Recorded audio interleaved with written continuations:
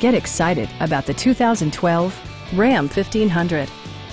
This four-door, six-passenger truck has just over 80,000 miles. It features an automatic transmission, rear-wheel drive, and a powerful eight-cylinder engine.